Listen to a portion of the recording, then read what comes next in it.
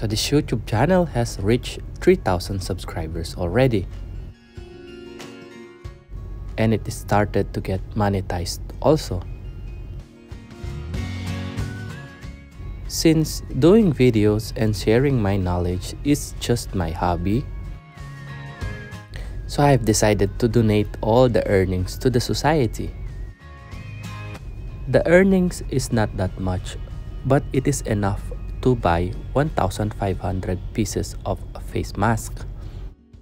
So I'm asking you guys not to skip all the advertisements so that we can increase the earnings. All future earnings will still be donated so I'm asking your help guys to please continue to support this channel.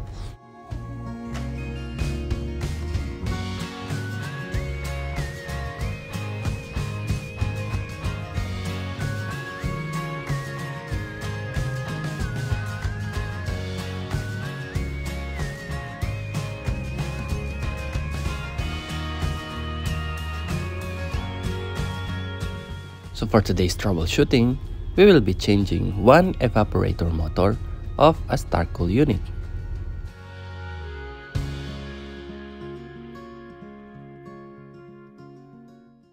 Just like what I have said from my previous vlog, the most common trouble for the Starcool unit is the evaporator fan motor and the frequency converter. Always ensure safety when you are working alone.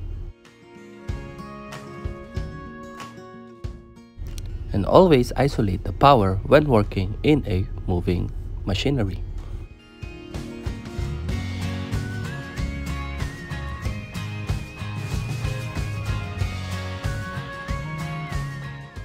And always use proper tools as it can make your job faster and easier.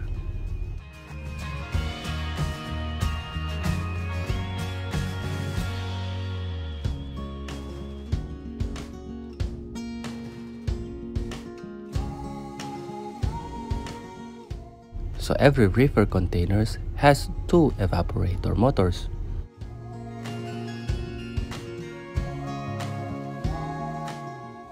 And this evaporator motor number 1 is overheating.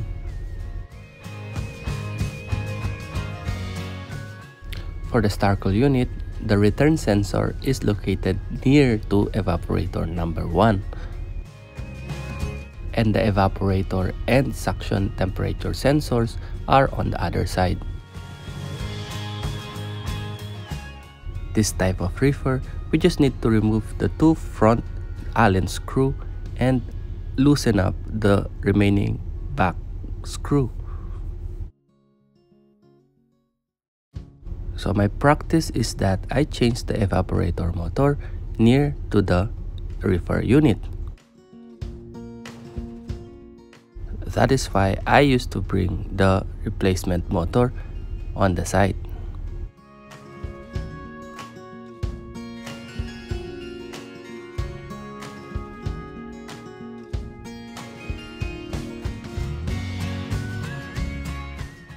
Just like what I have said, you just need to remove the two front Allen screw and loosen up the remaining two at the back.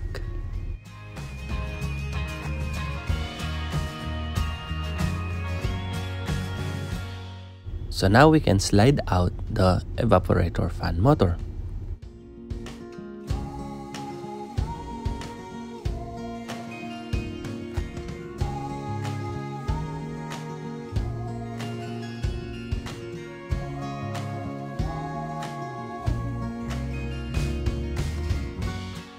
Now let's remove the locking screw.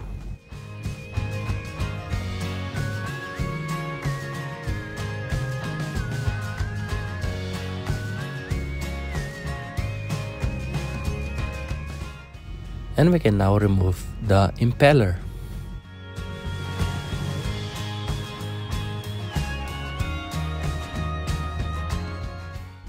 Then remove the four locking bolts and transfer it to the new motor.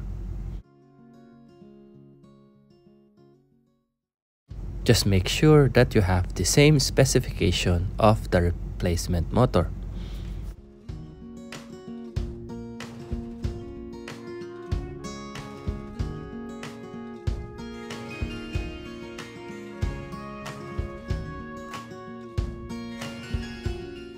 After putting the frame on the new motor, then it's time to put the impeller blade.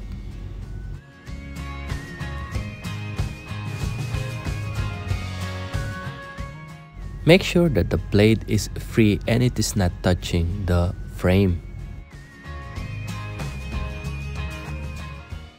And then put the locking bolt.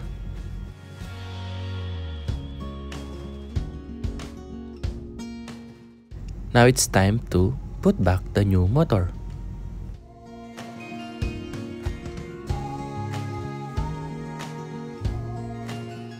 So we just need it to slide it in and lock first the two back bolt.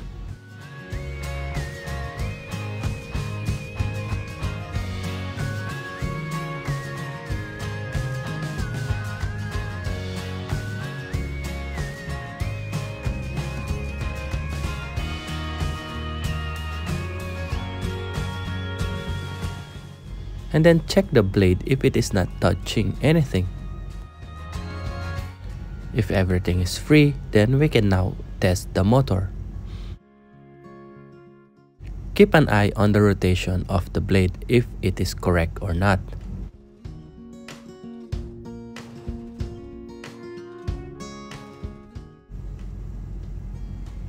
As you can see, the rotation is correct.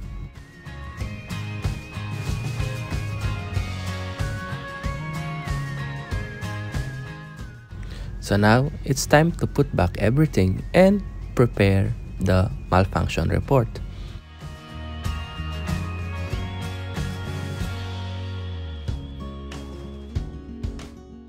So that's it guys, I hope you learned something from this video and please don't forget to like, share and subscribe to this YouTube channel.